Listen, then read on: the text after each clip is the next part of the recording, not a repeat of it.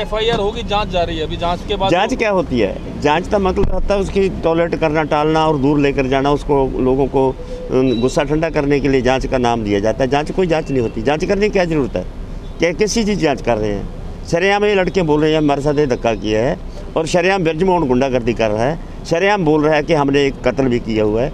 तो वो ऐसे दोषी आदमी को इतनी बड़ी जिम्मेवारी कैसे सौंप दी? आज तो ऐसा तो है अगर सरकार रखना चाहेगी तो रह भी जाएँगे लेकिन हमारा मुड़ने का पंजाब में भी प्रदर्शन करने की हाँ पंजाब में हमारी ग्यारह से लेकर चौदह तारीख तक तो हमारी जथेबंदी का पहले से आ गया था लेकिन अभी संयुक्त मोर्चा ने ग्यारह से लेकर अठारह तक का एक हफ्ते का पूरे इंडिया के अंदर ही प्रदर्शन करने का फैसला कर लिया वो आज हम इधर से ऐलान करें ਅੱਜ ਅਸੀਂ ਪੰਜਾਬ ਤੋਂ ਆਏ ਹਾਂ ਭਾਰਤੀ ਕਿਸਾਨ ਯੂਨੀਅਨ ਏਕਤਾ ਅਗਰਾਹ ਸਾਡੀ ਜਥੇਬੰਦੀ ਹੈ ਅਸੀਂ ਐਲਾਨ ਕੀਤਾ ਹੋਇਆ ਸੀਗਾ ਕਿ 7 ਮਈ ਨੂੰ ਅਸੀਂ ਉਹਨਾਂ ਪਹਿਲਵਾਨ ਧੀਆਂ ਦੀ ਸਪੋਰਟ ਦੇ ਵਿੱਚ ਔਰਤਾਂ ਦੇ ਵੱਡੇ ਕਾਫਲੇ ਲੈ ਕੇ ਜੰਤਰ ਮੰਤਰ ਵਿੱਚ ਜਾਵਾਂਗੇ।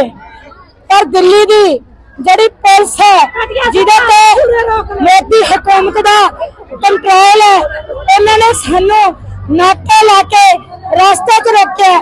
ਅਸੀਂ ਨਾਕਾ ਤੋੜ ਕੇ ਅੱਗੇ ਵਧ ਰਹੇ ਹਾਂ ਅੱਗੇ ਜਾਵਾਂਗੇ। ਪੈਦਲ ਹੀ ਬਾਕੀ ਗਾੜੀਆਂ ਤੋਂ ਪਿੱਛੇ ਗਾੜੀਆਂ ਵੀ ਆਉਣਗੀਆਂ। ਹਮ ਪੈਦਲ ਜਾ ਰਹੇ ਆ ਪਿੱਛੇ ਗਾੜੀਆਂ ਵੀ ਆਉਣਗੀਆਂ।